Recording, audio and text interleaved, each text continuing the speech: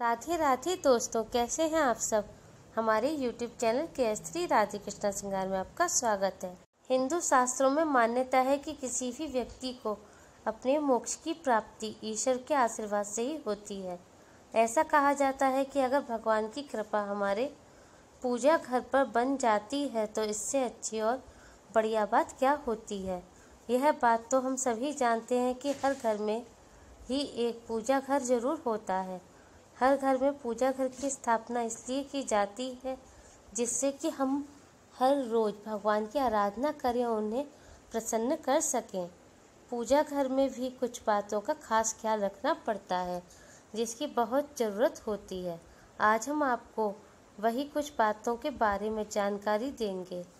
बता दें कि घर के पूजा घर में कुछ मूर्तियों को नहीं रखना चाहिए। इन मूर्तियों को रखने से घर में सुख समृद्धि और सकारात्मक ऊर्जा का प्रभाव कम हो जाता है। कौन सी मूर्तियाँ अपने मंदिर में नहीं रखनी चाहिए? आज अपने इस वीडियो में हम आपको ये बताने जा रहे हैं। ज्योतिष और वास्तु के अनुसार, सूर्यपुत्र शनिदेव की मूर्ति घर के मंदिर में नहीं रखनी चाहिए। शास्त्रों में शनिदेव की पूजा घर के बाहर किसी मंदिर में ही करने का विधान है। इसीलिए शनिदेव की मूर्ति को घर में नहीं लाना चाहिए। यदि इनकी पूजा करना चाहते हैं तो आप जहाँ शनिदेव का मंदिर हो, वहाँ पूजा करें या पीपल के पेड़ के नीचे शनिदेव की पूजा करें। ज्योतिष शास्त्र वास्तु के अनुसार, राहु केतु की मूर्ति को भी घर में नहीं लाना चाहिए। इनकी पूजा अर्चना करने और इन्हें प्रसन्न करने से जीवन के सब कष्ट दूर हो जाते हैं, लेकिन इनकी मूर्ति घर में लाने से हम इनसे जुड़ी नकारात्मक ऊर्जा को भी घर ले आते हैं। इसलिए इनकी पूजा घर से बाहर किसी मंदिर में ही करनी चाहिए। वास्तु शास्त्र और ज्योतिष शास्त्र के अनुसार भगवान नटराज की मूर्ति को भी घर के मंदिर में पूजा स्थल में नहीं लाना चाहिए।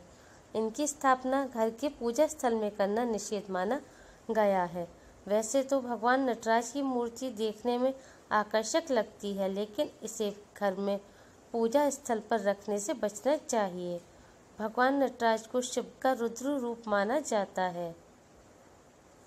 यानी शिव का यह रूप शिव की क्रोधित अवस्था का है। नटराज की मूर्ति को घर में लाने से अशांति फैलती है। सुख शांति का वातावरण खत्म हो जाता है।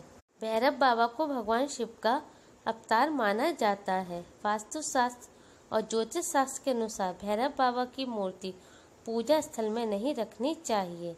घर के मंदिर में स्थापित भैरव बाबा की मूर्ति घर में बासु दोष उत्पन्न करती है।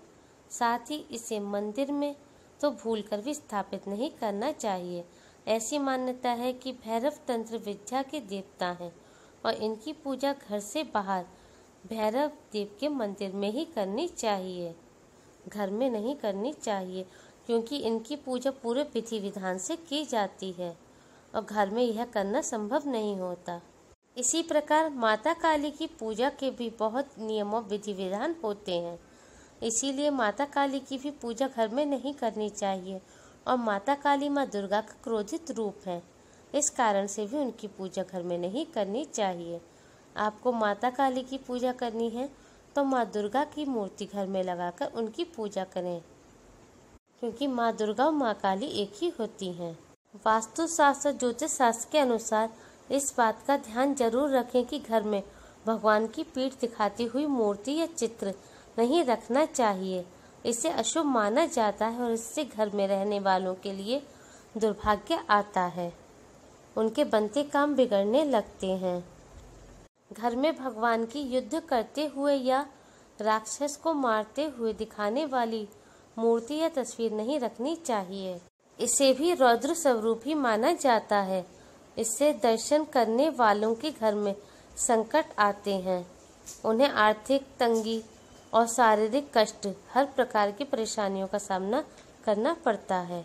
घर में खंडित मूर्ति या भगवान का फटा हुआ चित्र नहीं रखना चाहिए। वास्तु व ज्योतिष दोनों के हिसाब से ही यह अशुभ माना जाता है। उम्मीद है आपको हमारी वीडियो पसंद आई होगी।